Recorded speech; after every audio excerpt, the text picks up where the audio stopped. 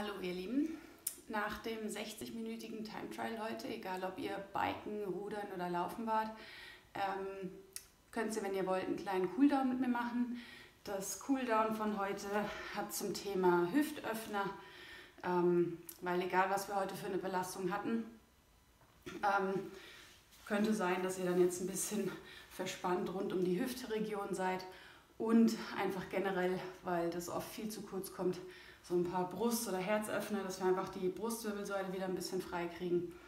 Ist eine kurze Einheit, ähm, müsst ihr nicht immer nach so langen Belastungen machen, könnt ihr auch einfach mal machen, wenn ihr merkt, okay, irgendwie fühle ich mich gerade unbeweglich. Ähm, ist für jedes Level geeignet. Ähm, ja, und ansonsten macht es einfach mit, wenn ihr Lust habt. Viel Spaß.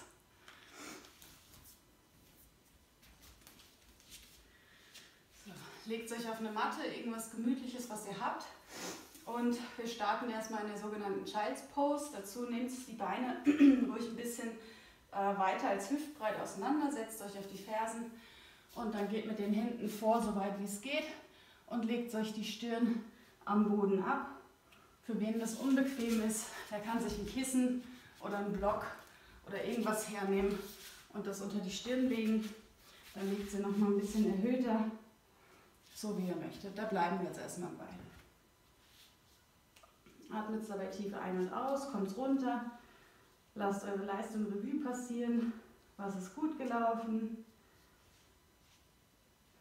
Und entspannt euch.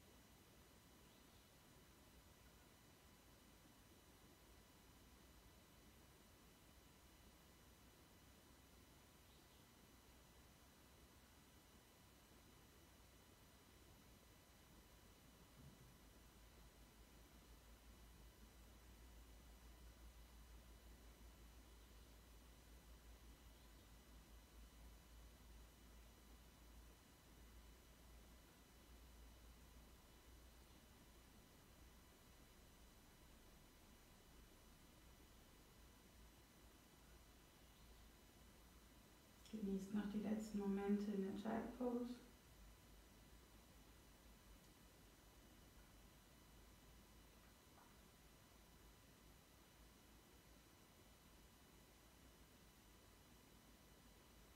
Und mit dem nächsten Einatmen machen wir den Rücken rund und gehen nach vorne in den Vierfüßler. Hände sind unter den Schultern, Knie sind unter der Hüfte. Und dann in eurem Tempo den Rücken ganz rund machen. Und mit der nächsten Ausatmung gefühltes Hochkreuz, Brust nach vorne. Und das wiederholen wir jetzt ein paar Mal, jeder in seinem Tempo, so wie es ihm gut tut. Macht euch jedes Mal ein Stückchen weiter auf. Schultern nach hinten zusammenziehen, Brust raus. Und hier richtig den Boden unter euch wegdrücken.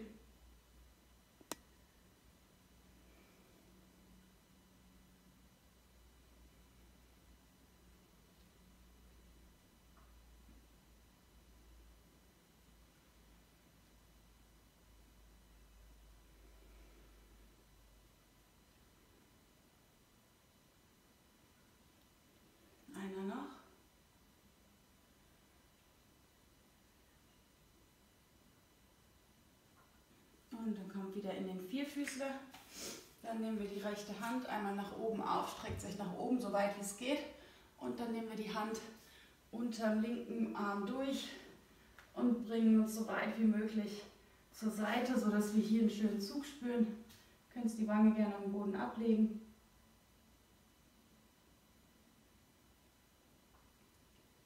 Wer möchte, kann die linke Hand nehmen, hinterm Rücken greifen und probieren den Oberschenkel oder das T-Shirt zu greifen. Machen wir uns gleich auf der anderen Seite auch noch auf.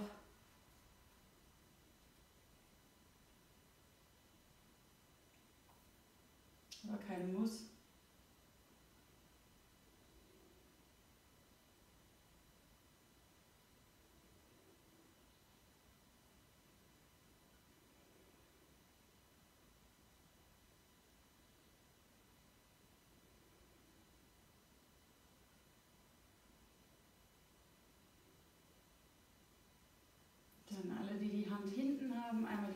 Hand zu Boden bringen.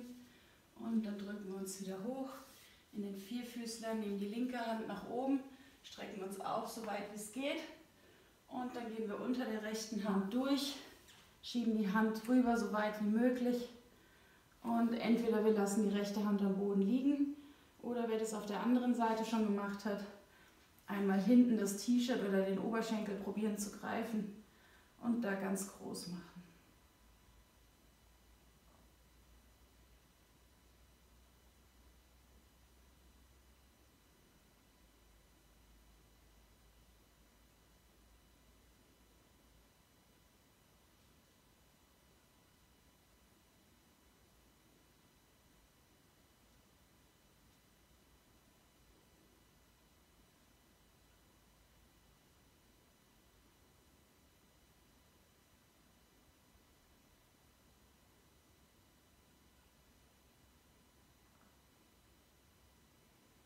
Dann alle, die die Hand hinten haben, langsam lösen und dann wieder zurück in den Vierfüßler kommen.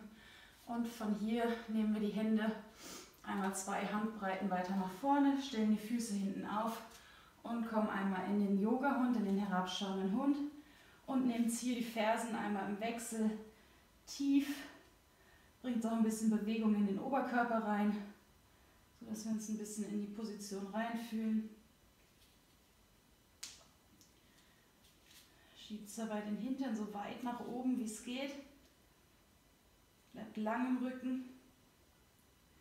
Und kommt einmal in einen ruhigen, herabschauenden Hund, so weit wie es euch möglich ist. Und atmet tief ein und aus. Drückt richtig die Handflächen in den Boden rein.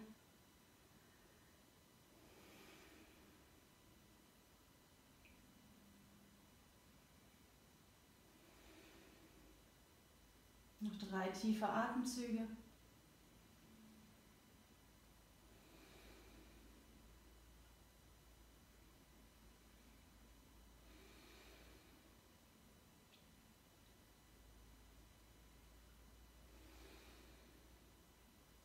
Und mit der nächsten Einatmung kommen wir vor in Liegestützposition und lassen uns entweder auf den Knien oder ganz langsam in die Liegestützposition runter. Die Hände sind unter den Schultern, und dann schieben wir nur die Schulterblätter nach hinten und öffnen die Brust so weit wie es geht. Die Cobra. Mit der nächsten Ausatmung langsam ablegen. Und mit der nächsten Einatmung wieder nach hinten aufziehen. Nur aus dem Rücken raus. Und der mag einmal die Hände strecken, so weit wie es geht. Und dann Füße wieder aufstellen und nochmal in den herabschauenden Hund kommen.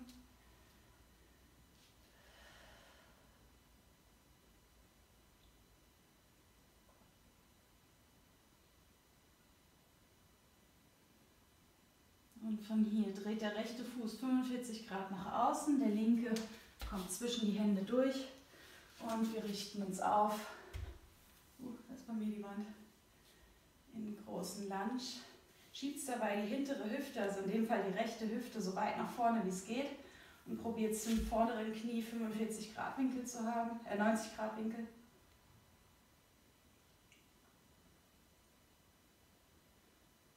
Und dann nehmt die Hände einmal neben den Fuß, legt den Fuß hinten ab und bringt noch einmal die Hüfte so tief zu Boden wie es geht.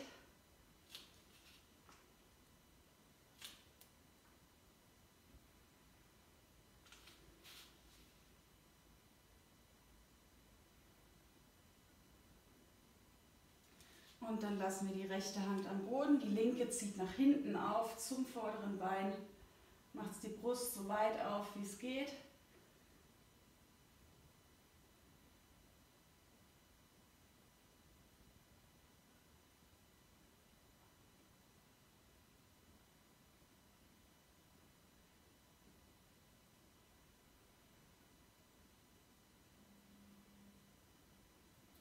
Und langsam lösen hinteren Fuß wieder aufstellen und nochmal in den herabschauenden Hund kommen. schiebt dabei die Brust so weit durch die Arme durch, wie es geht und zieht den Hintern nach oben, als würde euch jemand am Hintern nach oben ziehen.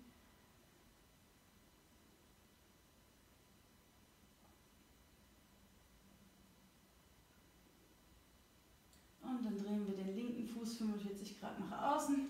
Der rechte kommt zwischen die Hände und wir richten uns vorsichtig auf. Schieben jetzt die linke Hüfte nach vorne.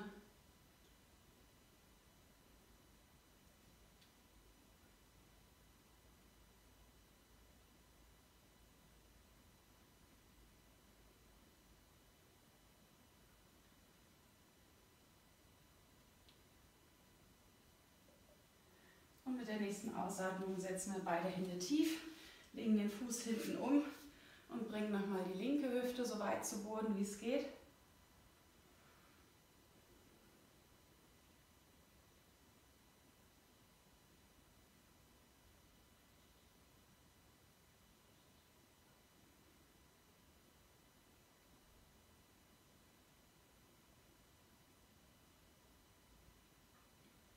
Und dann nehmen wir jetzt diesmal die rechte Hand nach hinten, öffnen uns zum vorderen Bein auf, machen uns richtig groß, Brust öffnen so weit wie es geht.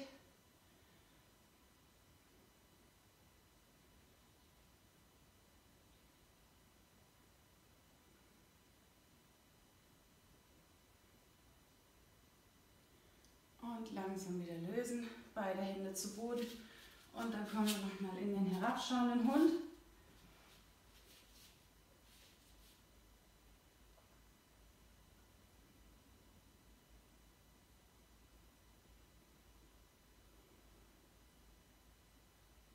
Bleiben noch für drei Atemzüge.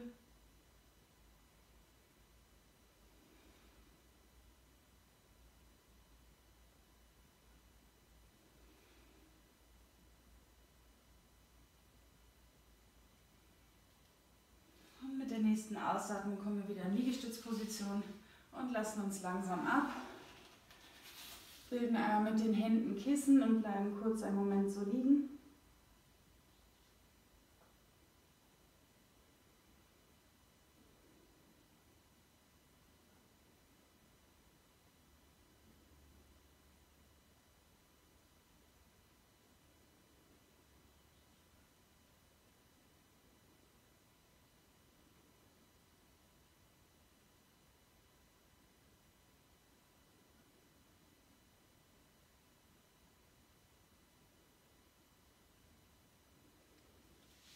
Und dann kommen wir einmal in Rückenlage.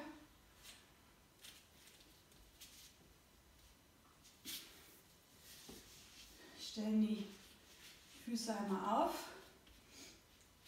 Dann nehmen wir den rechten Fuß über den linken Oberschenkel und greifen mit den Händen zwischen dem Loch durch und ziehen uns die Beine so dicht zur Brust wie es geht. Bleibt mit, mit den Schultern am Boden.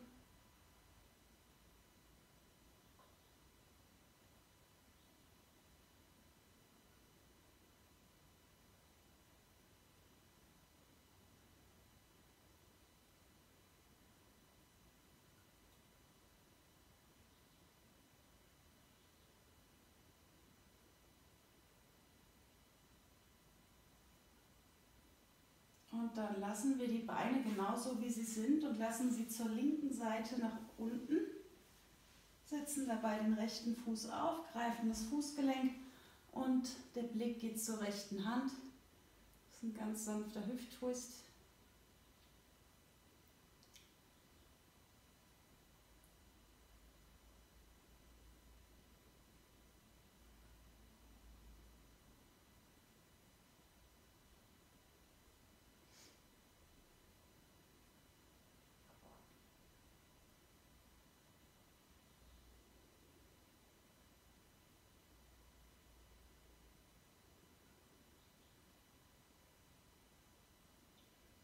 Und dann kommen wir wieder nach oben, lösen die Position, stellen den rechten Fuß auf.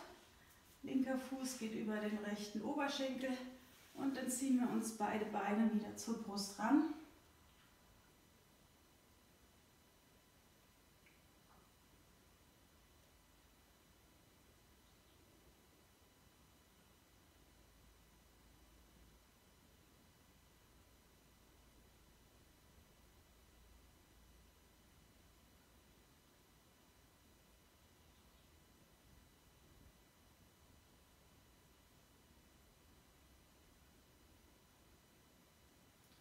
Dann bringen wir beide Beine wieder genau in der Position zur rechten Seite, diesmal nach unten. Greifen am Fußgelenk und der Blick geht zur linken Hand auf die andere Seite.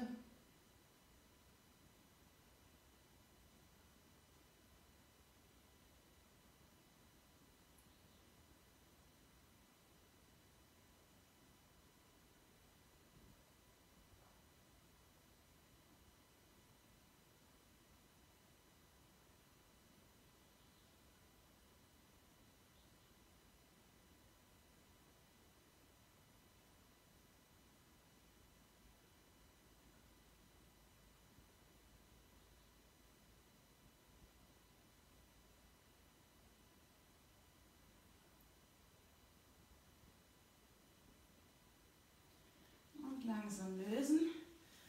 Schnappt euch beide Knie und macht ein paar kreisende Bewegungen. Massiert euren unteren Rücken. Wechselt auch mal die Richtung. Und dann greift mit den Händen in eure Kniekehlen und wippt ein paar Mal nach oben und nach unten. Massiert jetzt den ganzen Rücken und dann kommt ihr irgendwann in einen bequemen Sitz. Entweder ihr setzt euch in den Schneidersitz oder in irgendeinen anderen Sitz oder wer einen Block oder ein Kissen hat, kann sich das nochmal unter das Gesäß setzen. Ähm, da sitzt man meistens noch ein bisschen bequemer, wenn es ein bisschen erhöht ist. Ist aber kein Muss. Dann nehmen wir zum Abschluss die Hände einmal ineinander und strecken sie über uns drüber, machen uns richtig groß und dann lehnen wir uns zur rechten Seite ganz vorne nach drüben Machen uns schön rund, öffnen uns zur linken Seite auf, überstrecken uns ganz leicht und das gleiche auf der anderen Seite. Kommen wieder nach vorne.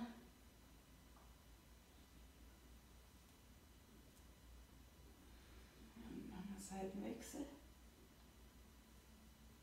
Schiebt die Hände so weit nach vorne raus, wie es geht. Letztes Mal.